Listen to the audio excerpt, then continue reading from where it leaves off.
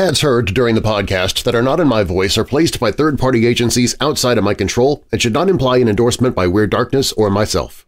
Stories and content in Weird Darkness can be disturbing for some listeners and is intended for mature audiences only. Parental discretion is strongly advised.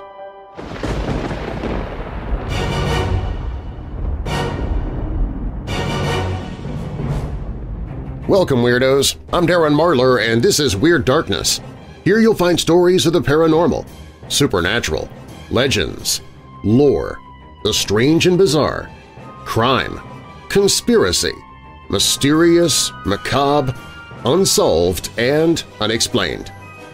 Coming up in this episode, Margaret Allen was hanged to death, but it's the strange life she lived and the odd nature of her crime that still interests people in her case. 12-year-old Gabriel enjoyed playing games with an online friend, but when he borrowed less than $2 for an in-game purchase from this friend, then ignored his requests to continue playing, he found himself dying the most horrifying murder you can imagine. And despite law enforcement knowing who the murderer is, he's free now, and no one knows where to find him. It is a brutally horrible story you do not want children in the room for. Being the victim of a stalker is terrifying. Not knowing when or where the person might show up next or what they'll do to you when they do show up. But there are those who have an even more terrifying situation, where the stalkers follow them their entire lives, and there's nothing they can do to stop it because the stalker is paranormal. But first, the 1725 newspaper headline read, Bloodsucker Devastates Village, and thus began a great vampire epidemic. We begin with that story. If you're new here, welcome to the show. While you're listening, be sure to check out WeirdDarkness.com for merchandise, to visit sponsors you hear about during the show, sign up for my newsletter, enter contests, connect with me on social media, Listen to my other podcasts like Retro Radio, Old Time Radio in the Dark, Church of the Undead, and a classic 1950s sci-fi style podcast called Auditory Anthology. Plus, you can visit the Hope in the Darkness page if you're struggling with depression or dark thoughts. You can find all of that and more at WeirdDarkness.com. Now, bolt your doors, lock your windows, turn off your lights, and come with me into the weird darkness.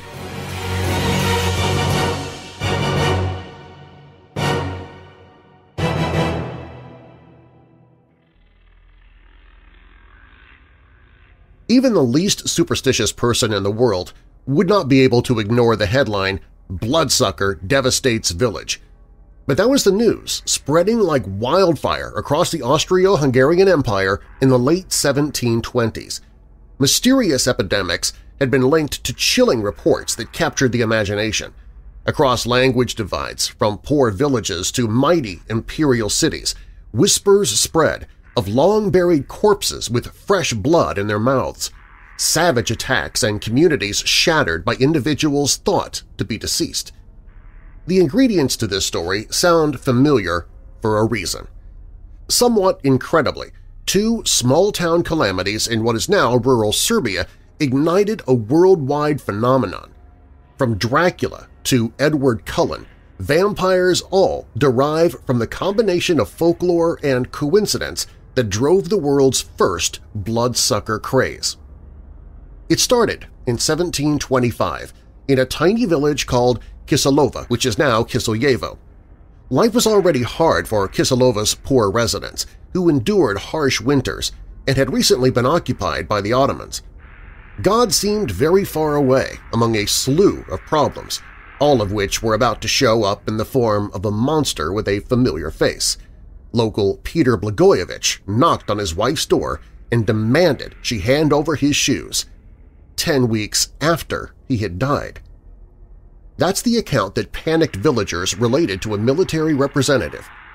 Needless to say, he was a little skeptical, but what followed was no joke. Within days of Blagojevich's reported reappearance, eight villagers died after short, brutal illnesses. Supposedly, Blagojevich crept into their homes at night, laid on top of them and crushed the breath from their lungs, thus sealing their fate. It sounds like fiction, but the reaction of Kisilova's residents made sense at the time. Illness was a terrifying prospect after the village's ordeal of occupation and hunger, and a monster was easier to blame than God. After a heated debate, the whole of Kisilova decided to march to the graveyard and dig up Blagojevich's body. According to the amazed military representative, there was not the slightest smell of death. The face, hands, and also feet and the whole body were so recreated that they in his lifetime could not have been more complete. And here comes the scariest part. Quote, In his mouth I did see fresh blood, which, after the general opinion, he had sucked from those killed by him." Unquote. No one had a name for what this monster was, but what the villagers did next, perhaps prompted by medieval Balkan folklore about the Walking Dead, set the precedent for hundreds of vampire movies to come. They sharpened a stake and drove it through Blagojevich's heart. Witnesses said blood gushed from the corpse's mouth and ears, signaling an end to his brief reign of terror. A few years later, a highwayman named Arnold Paole was entertaining the locals in his central Serbian village with tall tales about a Turkish vampire he'd known. The vampire had bitten him, he claimed, but not to worry. He'd taken precautions against infection by eating dirt from the vampire's grave. Garlic and holy water, it seems, had not caught on just yet. Despite Paole's efforts, his untimely death in a farming accident led him to rise from the grave as a vampire. His killing spree was even deadlier than Blagojevich's, with more than two dozen people dying within just a few months. As with Blagojevich, the villagers dutifully dug Paole up to be rewarded with another ghastly sight – the apparently recomposed Paole gasping as they drove a stake through his heart. These stories were certainly enough to make headlines and made for great folk stories, but Europe has been full of strange folklore for centuries, so why did these accounts take hold so thoroughly? The answer, historian Gabor Klaniczay writes, might be the clue to the vampire's lasting appeal. Medieval Europe had been preoccupied with witch trials. A few hundred years later, though, they'd lost some appeal. Vampires were distinctly more modern and therefore scarier, supernatural beings, and people only tangentially aware of the rise of technology and medicine, vampires seemed a plausible mystery for the new field of science. In other words, vampires represented what seemed weirdest and most frightening about the present for 18th-century peasants. Today, says author G.K. Hansen, they've become a tool for exploring oddities and unknowns in our ever-shrinking world. Series like Twilight and True Blood suggest that vampires have a whole other world that we humans don't know about, tantalizing possibility in our high-tech present. Vampires are a fertile playground, and once Stephenie Meyer let absurdity creep in, her vampires sparkle. People started finding it everywhere, Hansen says, noting that there's so much territory left unexplored. The undead might not be killing Serbian peasants anymore, but vampires will likely survive, stakes or not, to reveal more about the stranger side of the human imagination for years to come.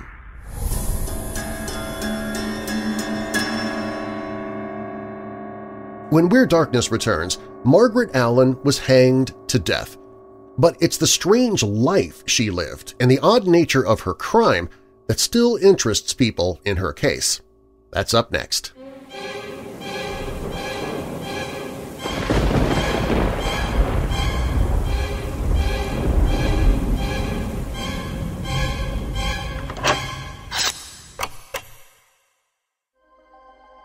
Are you a member of the Darkness Syndicate?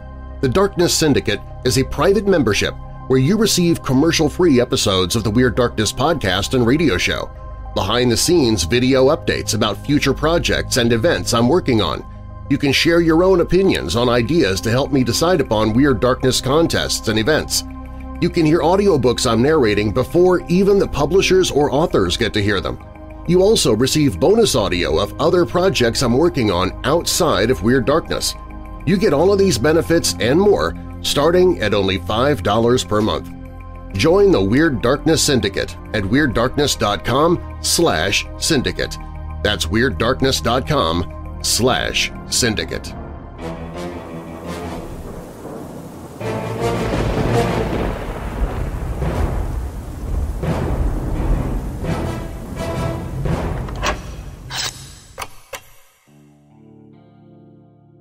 On January 13, 1949, 42-year-old Margaret Allen was hanged at Strangeways Prison, now the H.M. Prison Manchester. Not only did this make her the first woman to be hanged in the United Kingdom in 19 years, but the very circumstances of her life, as well as the nature of the murder she committed, has given her a unique place in Britain's forensic history. Born in 1905 as part of a very large family, she was the 20th of 22 children, Margaret apparently knew that she was different from an early age. Not only did she refuse to do female chores, preferring more masculine tasks such as shoveling coal and doing household repairs, she also hated wearing dresses. Instead, she insisted on more masculine clothing, the same as her brothers. While this would be much more acceptable today, her odd behavior made her into a virtual outcast as far as her family was concerned. Never having married, she embraced a completely masculine lifestyle, including cutting her hair short, wearing men's clothing exclusively, and insisting on being called Bill instead of her given name of Margaret. She also told friends that she had undergone an operation to change her sex, something that was highly unlikely in that era, though a female-to-male sexual reassignment operation had taken place in the UK just two years earlier. Despite being largely estranged from her family, Margaret took her mother's death in 1943 especially hard. Not only did she begin smoking heavily, but she sought medical treatment for depression and anorexia. To support herself, Margaret, or Bill, worked as a bus conductor though she eventually lost this job due to her tendency to strike passengers on the back of the head if they weren't seated fast enough. In any event, by 1948 she was in financial trouble. Not only could she not afford her rent or her electric bill, she apparently couldn't even afford cigarettes. This will become important later. That brings us to the events of August 29, 1948, when a neighbor, 68-year-old Nancy Ellen Chadwick, came to Margaret's door to borrow a cup of sugar. Chadwick was a wealthy widow with a reputation for being eccentric but largely harmless. Unfortunately, Margaret considered her annoying, so they didn't get on particularly well. For reasons that aren't quite clear, Margaret viciously clubbed Nancy Chadwick to death using a coal hammer. She then placed the body in her cellar before going out with her only friend, Annie Cook. After sharing a couple of drinks together, Margaret returned home to deal with the problem of the body. First, she poured grate ashes on the face of her victim and then dragged the body outside to leave in the street nearby. She apparently hoped that the soot on Chadwick's face and the injuries to her head would convince police that she'd been a victim of a hit-and-run. When bus driver Herbert Beaumont found the body at 3 a.m. on the following morning, he immediately called police, who launched an investigation. Another bus driver insisted that he had passed by that same spot 15 minutes earlier and saw no body at the time. Since it seemed unlikely that Chadwick had been walking outside at that time of morning, they quickly dismissed the possibility of a hit-and-run. They also found the woman's purse floating in the nearby River Irwell, though all the money had been removed. Since Margaret Allen seemed to be taking a keen interest in the investigation, police came to question her about the death on September 1st. They quickly discovered bloodstains on the inside of her front door, as well as a shopping bag filled with grate ashes in one of her closets. As she was being questioned, she confessed to the killing almost immediately, but added that she didn't do it for the money. I was in one of my funny moods. She told them, I just happened to look around and saw the hammer in the kitchen. Then, on the spur of the moment, I hit her with it. She gave a loud shout, and that seemed to start me off more, and so I hit her a few times more, I don't know how many. Margaret later insisted that being unable to smoke had made her especially irritable. The fact that she was heavily in debt and that she had apparently been hoping to rob her victim seemed a likelier explanation, however. Though a murder would not ordinarily generate much interest from the press, Many of the details of Margaret's life helped ensure that her case would receive international coverage. Virtually every newspaper played up Margaret's mannish appearance, including her refusal to wear female clothing and her previous claims that she had undergone a sex change operation. The papers also played up her spinster status, though Margaret largely remained silent throughout the trial. What was likely even more upsetting to her was that she was kept in a woman's prison despite insisting she was a male. While in prison, she only received one visitor, a woman named Anne Cook, though the exact nature of their relationship is still debatable. As for the trial itself, it was held on December 8, 1948, and only lasted five hours. Given that Margaret had already confessed to the crime, there really wasn't all that much for the defense to do in her case. Though her lawyer, William Gorman, K.C., tried to argue for the insanity defense, the jury rejected that completely.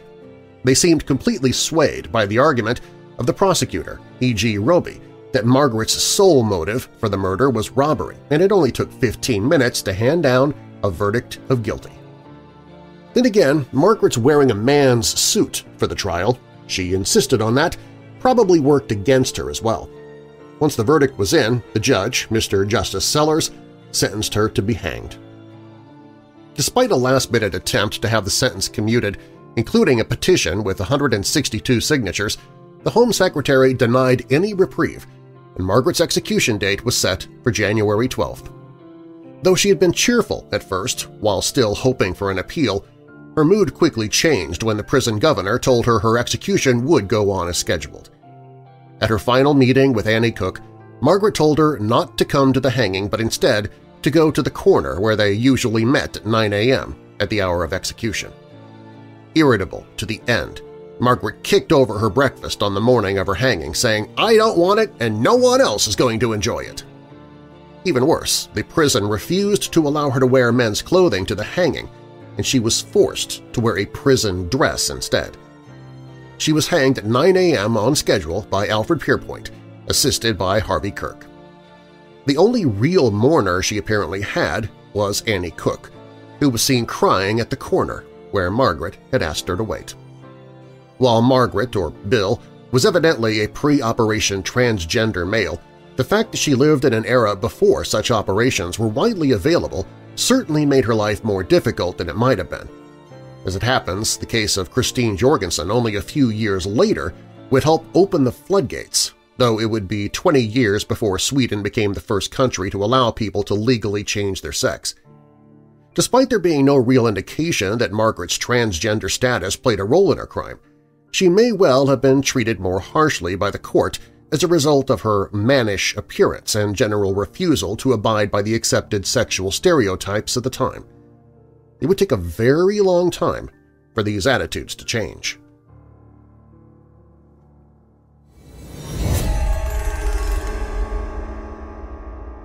Here's a story from one of our Weirdo family members. Brian Barnes sent this one in. It's called Mysterious But Appreciative.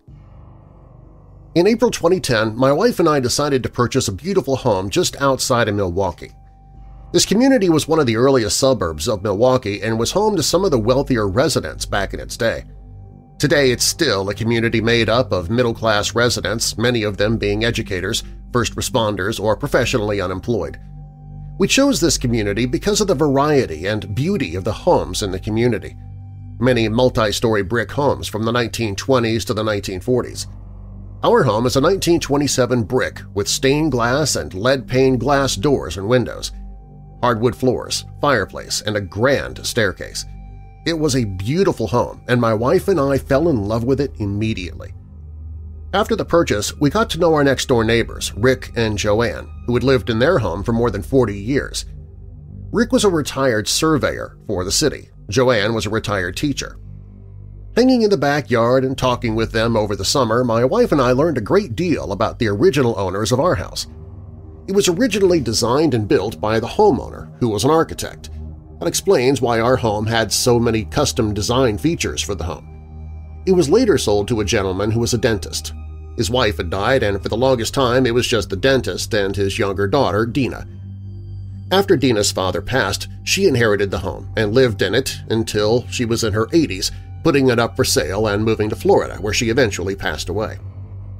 Noticing how much my wife and I were landscaping and planting new flower gardens, Rick shared with us how it reminded him of Dina. She loved gardening, she loved this home, and would have loved what we were doing. Fast forward about a year, my wife and I are working in our backyard. I was busy trimming some hedges that had not been trimmed in some time and were severely overgrown. These things were over 10 feet tall and easily 4 foot wide. They were huge and took a lot of work to get them trimmed. These hedges have been here since the mid-1930s. I know this because the previous owners would write the date and height from 1933 to 1938 on the wall in the garage. I like the history of it all, so I left the original writing in the garage as it was. While working, I noticed a lady walking up our alley and into our parking space. She was average height and weight with long, curly, reddish-brown hair. I'd say that she was in her mid to late 40s. "'Excuse me,' she said. "'I don't mean to be a bother, but I used to live here when I was a young girl. I happened to be in town on business and thought it'd be fun to stop by and see the old place.' Intrigued, I invited her up the steps into our yard. "'Well, hello,' I said. My wife and I have always been curious about the history of the house, so we'd enjoy the opportunity to hear about your time living here. We stood and talked for a while, her sharing her stories of playing hide-and-seek with her best friend and providing all kinds of very specific details about the house that only somebody who has spent a great deal of time there would have known. She knew everything about the house and its history. Her mother, Dina, had grown up in the home just like Rick had told us, and she shared all kinds of stories about past holidays and backyard parties with the neighbors. She was very nice and politely asked if we wouldn't mind if she peeked inside just to see the interior one more time. I agreed and walked her up to the back door where you'd enter the kitchen and access the back service staircase. Once she entered the home, I immediately noticed a change in her demeanor. She went from a very animated, talkative person to a very somber, quiet, even serious person. She walked from the kitchen to the dining room, which then flows into the living room as the largest portion of the downstairs was all an open concept. As she peered at the house, she never said a word, and she looked at different parts of the downstairs. She seemed almost like she was in a different time and place. I assumed she was just remembering how the house looked when she was little, or maybe picturing a holiday gathering and remembering the home at a different time. Weirdly, she never said anything.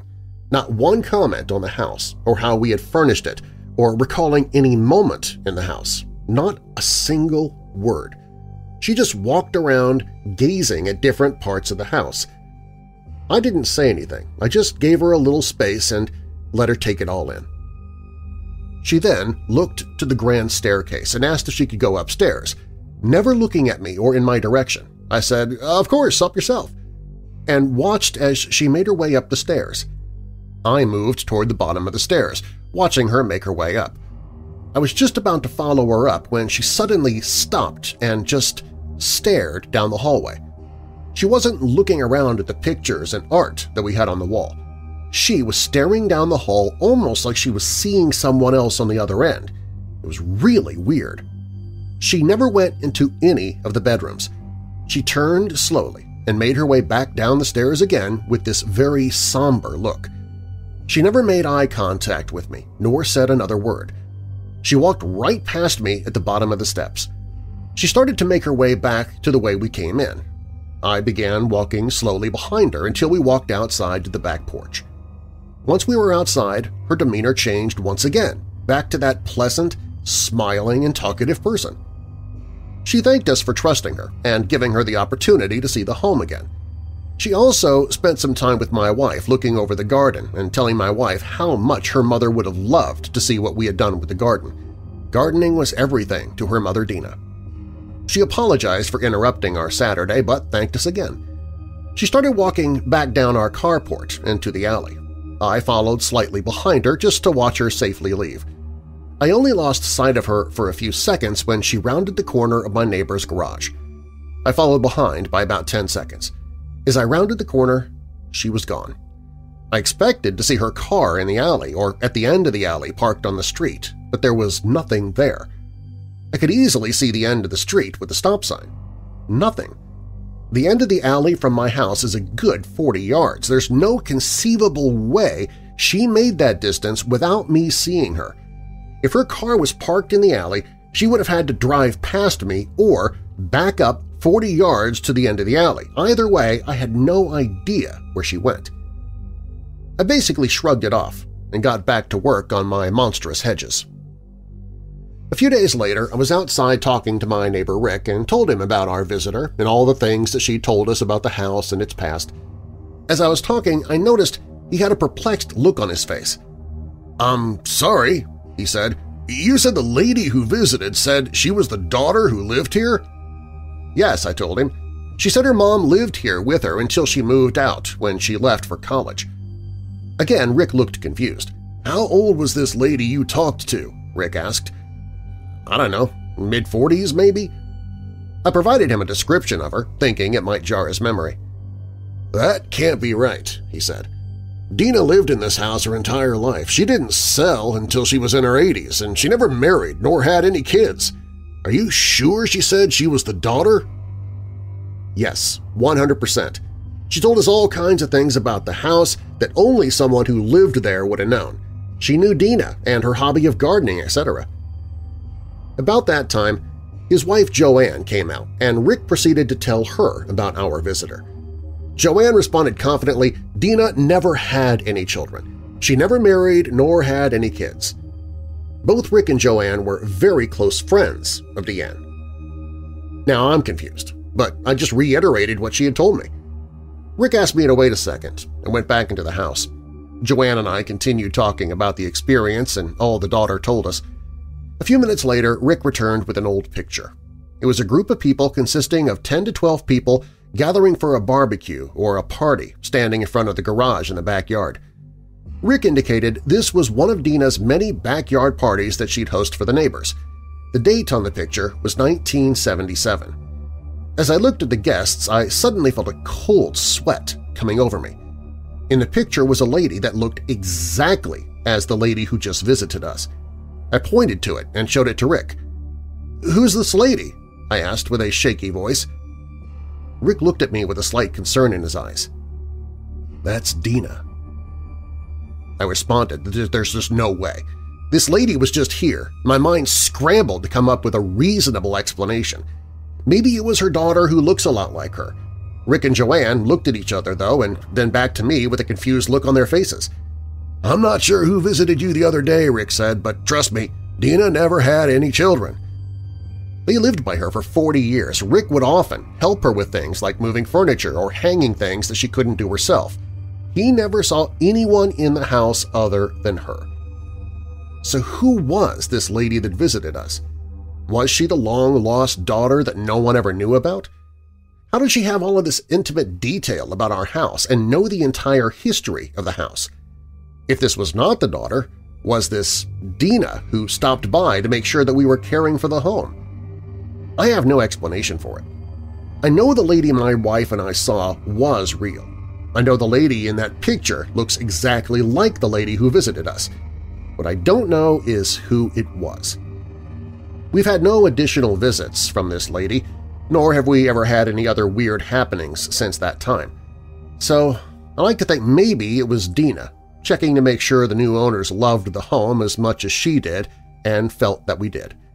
I don't know. But it was the weirdest experience I have ever had.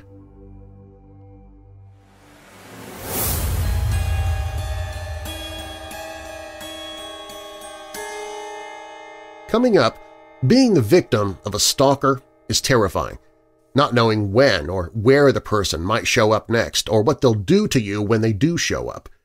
But there are those who have an even more terrifying situation, where the stalker follows them their entire lives, and there's nothing they can do to stop it, because the stalker is paranormal.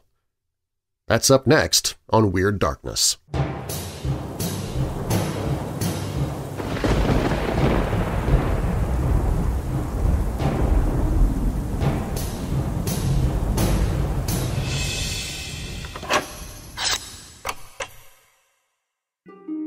Nothing goes better with chocolate than vanilla, and nothing goes better with the darkness than vampires. So we've combined all of them into a new blend of weird dark roast coffee called Very Vampilla. This bloody good blend combines a medium dark roast coffee with hints of chocolate, vanilla, and just a tad bit of dried cherry, too. So good, you'll want to sink your fangs into the fresh roasted bag itself. Weird Dark Roast Very Vampilla. The only thing at stake, sorry, not sorry, bad pun, is your dissatisfaction with your old coffee. Sip it while the sun is down if you're one of the undead, or when the sun is up if you just feel dead and need a bit of a boost. Get your Weird Dark Roast Very Vampilla at WeirdDarkness.com slash coffee. That's WeirdDarkness.com slash coffee.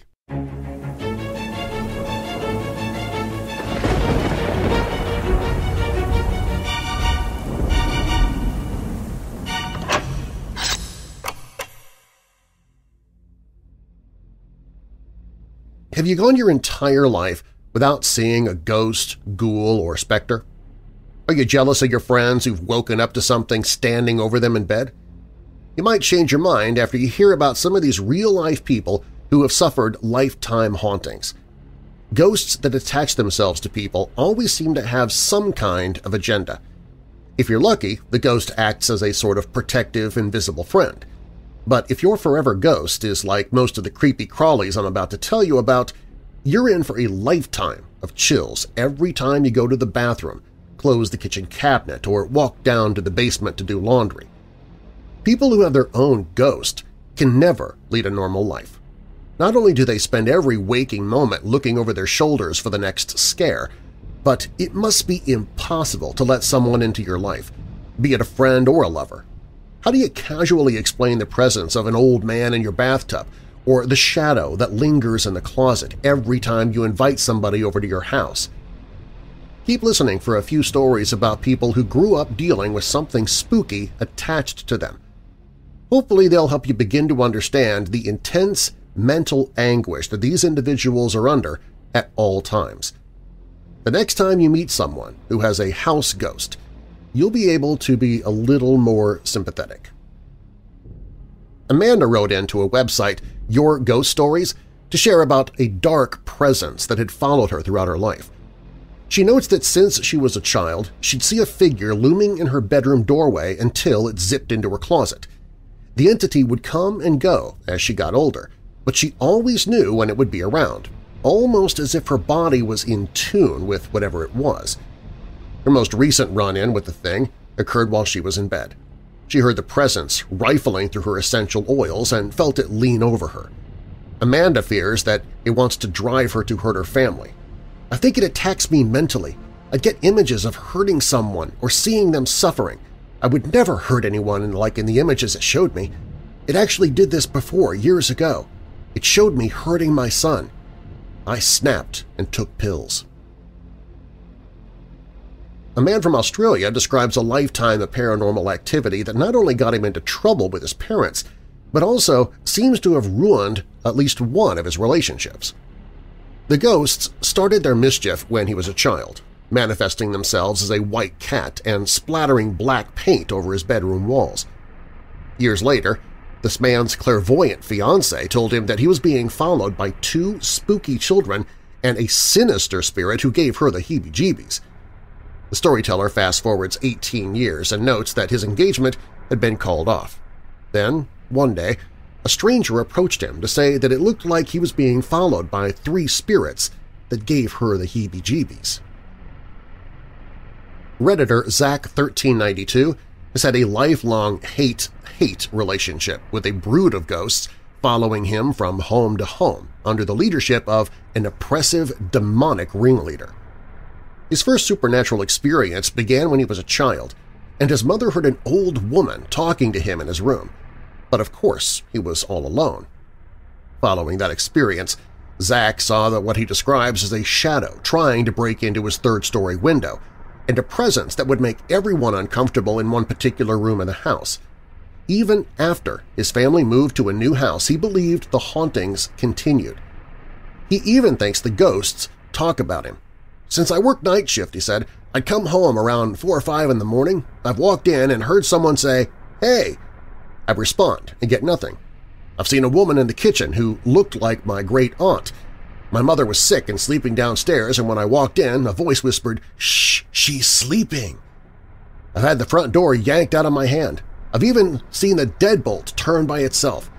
I've walked in on conversations only to hear, Shh, he's here, be quiet. One of the most frustrating things about true ghost stories is that the people who live through them rarely get any answers when it comes to their haunting. Kelly, a woman who has moved around quite a bit, has been followed by the spirit of a young girl since she was only 15. Their interactions range from full-on attacks on her ex-boyfriends to silent appearances in the kitchen to haunting whispers telling Kelly not to be afraid. Kelly doesn't know where the little girl came from, but wonders if she is something of a protector. A young woman in Florida feels certain that either a French ghost or possibly a demon has been following her since she was a baby. According to her parents, when she was an infant, they would hear the sounds of people speaking in French over the baby monitor. Now that she's older, she believes that something is waiting for her in the dark rooms of her house. I'm uncomfortable being in any room by myself, she says, when the lights are off. It just feels like someone's watching me. When I sleep on the couch, it feels like someone's standing about 10 feet away from me just watching me. It's very uncomfortable. And I could have sworn I saw someone standing literally right next to my shins when I looked down at my feet. Another Florida woman, Angela, has been living in the same home since she was a child, and in her account of the ghostly happenings that occur around her – shadow men, giggling children, etc. – it seems like she and the ghosts have grown used to each other. But then her fiancé moved in. The moment he did, the haunting took on a malicious quality. Things began to be thrown across rooms. Something started banging on the walls, and one night, Anton, her fiancé, took the brunt of the ghostly force. As Angela tells it, one night they were in bed when, quote, the ghost literally grabbed him and threw him. He flew out of the bed and hit the wall next to the bed and whacked his head on my nightstand. I started screaming, and he was awake now and understandably pretty freaked out. He flew off that bed like someone had shoved him and he hit that wall with a lot of force. He actually chipped some of the plaster off the wall. Samantha's haunting began when she was still in the womb. Her mother was set up on by what she described as a shadow of what to her looked like a big dog at the foot of the bed that ended up sitting on her stomach until her mother was able to work up the courage to get out of her bed and run away. Years later, Samantha would have to deal with a similar, shadowy presence that would hold her down in the middle of the night in between her horrific nightmares. An anonymous young woman who we'll call Amy claims that she has been followed by something malevolent since she was about five years old. Her first run-in with the entity came when she recorded a radio show with her sister. After I was done, she said, I rewound the tape and began to listen to it before going to play it for my parents. Mid-session, however, I heard a sound. It was a long, drawn-out sigh in a deep register. It sounded as though a man were standing in the background and was very annoyed with the talking and expressing his frustration with it. But then, when she was in college, she experimented with recording the entity again, and things got creepy. On the tape, things are quiet until Amy's mother leaves the room. So my mother gets up and walks down the hall and into the room where my nephew was hanging out in his crib, Amy says, not trying as hard to nap as I would have liked. On the tape, you hear her leave and me say to one of the dogs, Lex, leave him, one of the other dogs, leave him alone. Then you hear me sigh, and immediately after you hear this deep, raspy inhale like something is sucking all the air out of the room. I make no comment on it, but you can hear me flipping through the magazines. I hadn't noticed anything. From down the hall, you hear my mother talking to my nephew, trying to get him to say, I love you. So she's saying that very slowly, I love you. On the tape, you hear this very odd hissing laugh, and suddenly you hear a very, very deep man's voice say very loudly and clearly, I love you, Amy. When you think about something following you, would you rather it have a recognizable form or not? One woman has been dealing with a shadow person for close to a decade. One night it appeared in her room. I laid there for what felt like hours just watching it, she says of the experience. I was about to fall asleep when I saw it move. I just kept staring at the mirror, too afraid to turn around. I felt the bed shift like someone was laying down.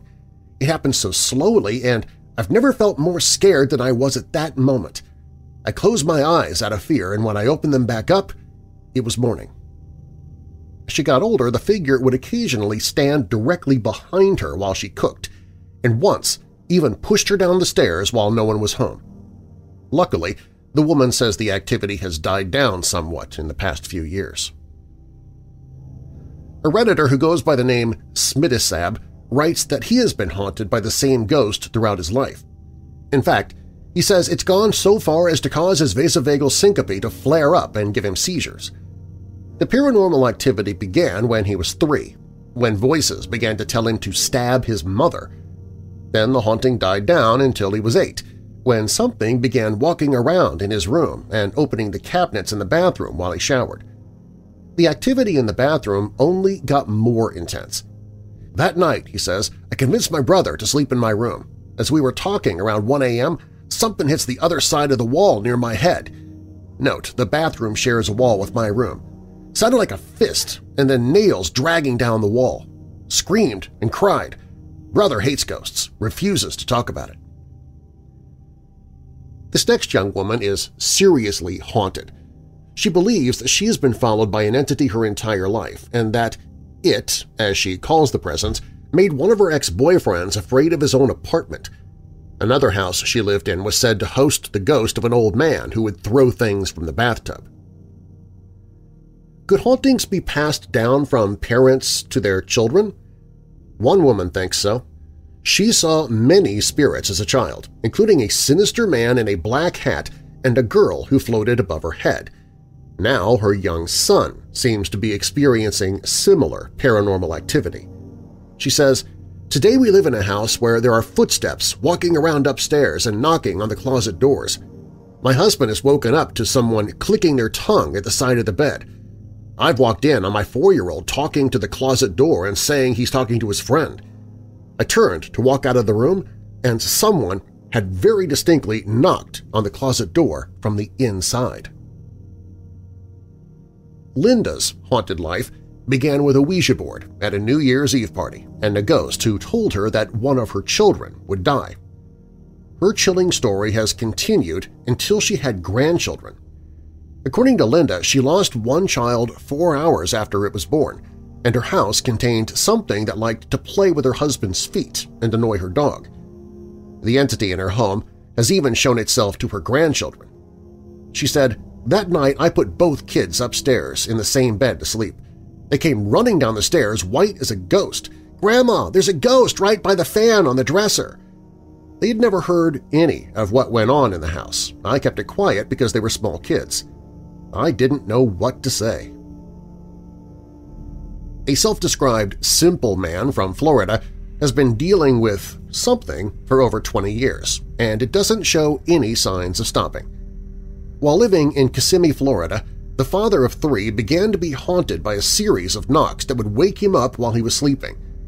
On numerous occasions I was awoken by the sound of three knocks on what appeared to be a window or door, he says. I cannot remember whether I opened a door or not on any occasion, but I do know that it was a very real and convincing knock that was always in rhythm and always only three knocks. The story continues after even moving. We then built a home in St. Cloud, Florida. The knocks did not stop. After living in St. Cloud for a while, the dad woke up to a deep, cat-like scratch on his inner thigh. Then, when he moved to Kentucky, something extra weird happened. Quote, While standing in my bathroom door in my bedroom last night and watching a Little League baseball game on ESPN, I witnessed my work desk I have in the bedroom lift up about one inch and then drop back to the floor. This happened two feet in front of me. I did not get scared or jump up and down, but instead stood there in disbelief. I then went to understand and was wondering what could have caused this other than what's been historically following me around for the last 20 years. Fortunately, not all stories of lifelong hauntings are dark. One Redditor actually has a nice story about their ghost. They believe that the spirit is watching out for them in every situation. He says, It's not annoying or frightening. It almost seems like it's protecting me. Every time I start to get involved in something I probably shouldn't, I feel a tug at my sleeve or a hand on my shoulder. Every time I tick someone off and am at risk of starting a fight, I feel something pressed up against me, like it's shielding me or telling me to back down. When Weird Darkness returns, 12-year-old Gabriel enjoyed playing games with an online friend. But when he borrowed less than $2 for an in-game purchase from his friend, then ignored his friend's requests to continue playing, he found himself dying the most horrifying murder you can imagine. And despite law enforcement knowing who the murderer is, he's free now, and no one knows where to find him. It is a brutally horrible story you don't want your children in the room for. Coming up next.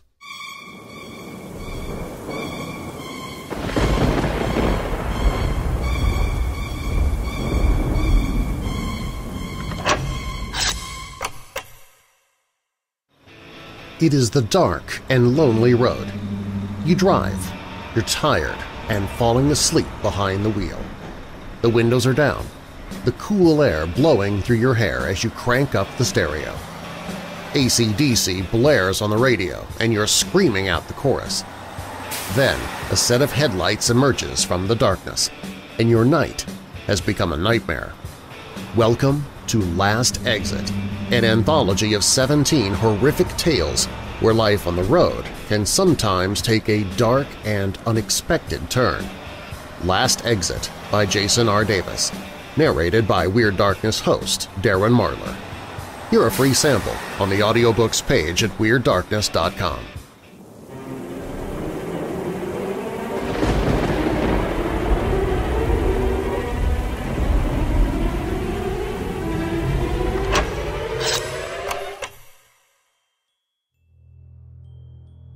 Imagine for a moment that you're 12 years old. Things in your life are in a constant flux. Money isn't easy to come by, not for you and not for your parents, and the problems this causes in your young life are just starting to register. Add to that a mix of hormones and social pressure, and what you end up with is a cocktail of adolescent angst. So you seek an escape. You go online and start playing a game, meet some new friends, what should have been just a fun way to spend an afternoon, maybe forget real life for a while, would end up opening the door for murder.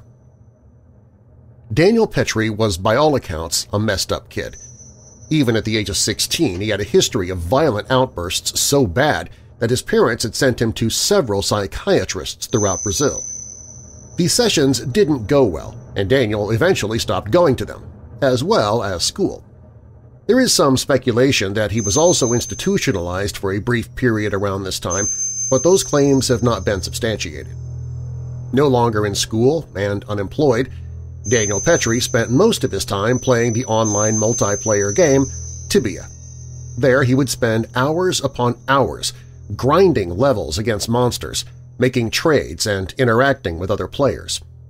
One of these players was a local boy named Gabriel Kuhn.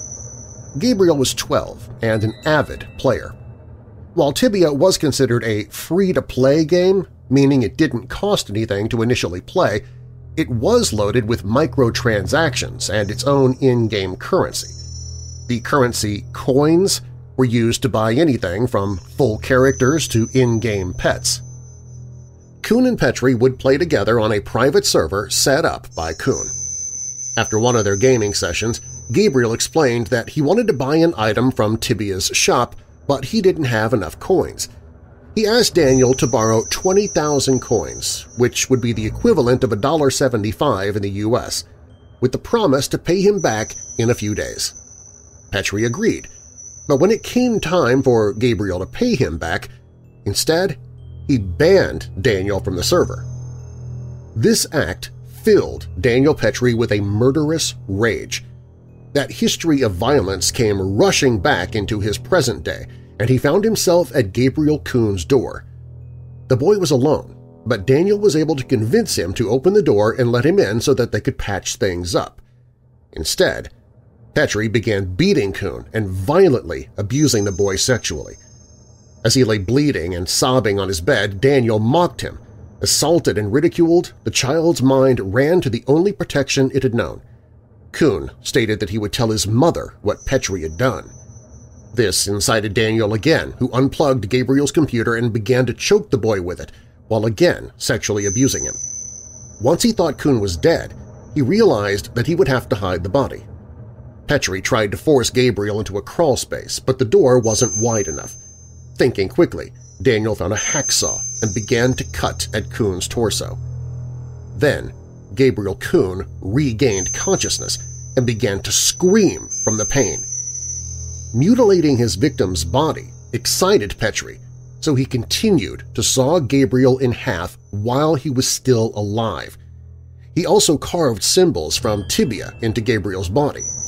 Still unable to fit the body into the crawlspace, he left it there in the hall for Gabriel's mother to find later that day. It didn't take the police long to track down Petry. They uncovered his argument with Gabriel on tibia. Daniel didn't show any remorse or any emotion at all, really, as he recounted in detail to the horrified police just what he did. The only time Petry reacted with anything other than contempt for Kuhn was when the police brought up the sexual assault, at which point he angrily lashed out at the insinuation of homosexuality.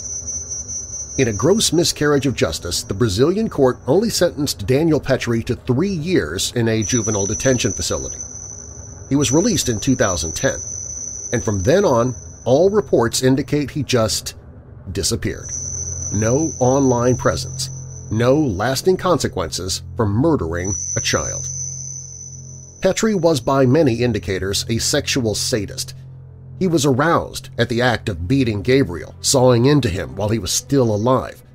A sadist enjoys hurting others, not always in a physical way, but the fact that Petry raped his victim twice indicates it was the suffering that turned him on.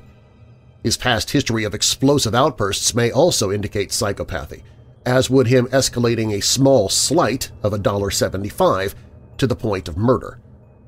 If Petry is still alive today, it would not come as a surprise to find he has other victims.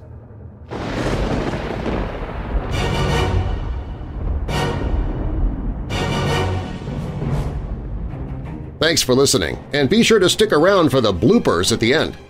If you like the show, please share it with someone you know who loves the paranormal or strange stories, true crime, monsters, or unsolved mysteries like you do. You can email me anytime with your questions or comments at darren at WeirdDarkness.com. Darren is D-A-R-R-E-N. WeirdDarkness.com is also where you can find information on any of the sponsors you heard about during the show, Find all of my social media, listen to free audiobooks that I've narrated, sign up for the email newsletter, find other podcasts that I host including Retro Radio, Old Time Radio in the Dark, Church of the Undead, and a classic 1950s sci-fi style podcast called Auditory Anthology. Also on the site, you can visit the store for Weird Darkness t-shirts, mugs, and other merchandise. Plus, it's where you can find the Hope in the Darkness page. If you or someone you know is struggling with depression, or thoughts of harming yourself or others. And if you have a true paranormal or creepy tale to tell of your own, you can click on Tell Your Story. You can find all of that and more at WeirdDarkness.com. All stories on Weird Darkness are purported to be true unless stated otherwise, and you can find links to the stories or the authors in the show notes. The Vampire Plague of 1725 was written by Jack Doyle for Ozy.com. The Hanging of Margaret or Bill is by Romeo Vitelli for Providentia.com. A Deadly Gaming Friendship is by R.A. Brewster for rabrewster.com. And Phantom Stalkers was written by Jacob Shelton for Ranker's Graveyard Shift. Weird Darkness is a registered trademark. Copyright Weird Darkness. And now that we're coming out of the dark, I'll leave you with a little light. Psalm 62, verse 1 my soul finds rest in God alone. My salvation comes from Him. And a final thought. Choose the words you say to yourself wisely. They are creating your reality. Sean Stephenson I'm Darren Marlar. Thanks for joining me in the Weird Darkness.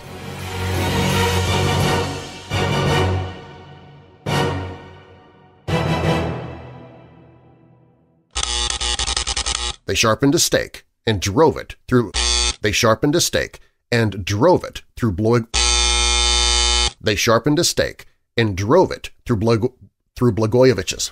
They sharpened a stake and drove it through through the through the ah, and they drove it through Blagojevich's heart. Stake and drove it through Blagojevich's heart.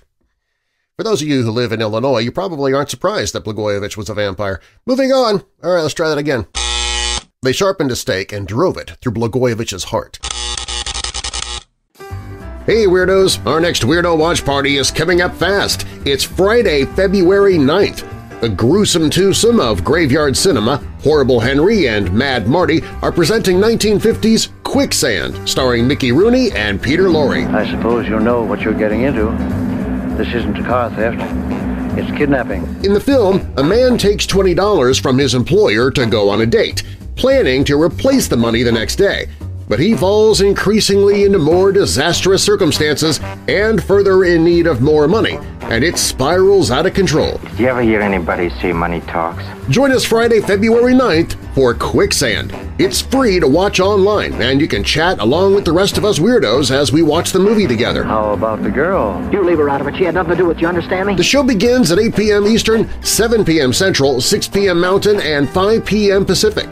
You can watch a trailer for the film and watch horror hosts and schlocky B-movies anytime, day or night, on the Weirdo Watch Party page at WeirdDarkness.com. I want that coat. And I'm gonna get it for $2,000 for whatever it takes. 1950s Quicksand, starring Mickey Rooney and Peter Lorre. You better come and see me or else. Or else what? Or else something is going to happen. To you. To you, Danny boy. Friday, February 9th on the Weirdo Watch Party page. I'll kiss you goodbye if you want me to. Hey Weirdos! Be sure to click the like button and subscribe to this channel, and click the notification bell so you don't miss future videos. I post videos seven days a week. And while you're at it, spread the darkness by sharing this video with someone you know who loves all things strange and macabre. If you want to listen to the podcast, you can find it at WeirdDarkness.com slash listen.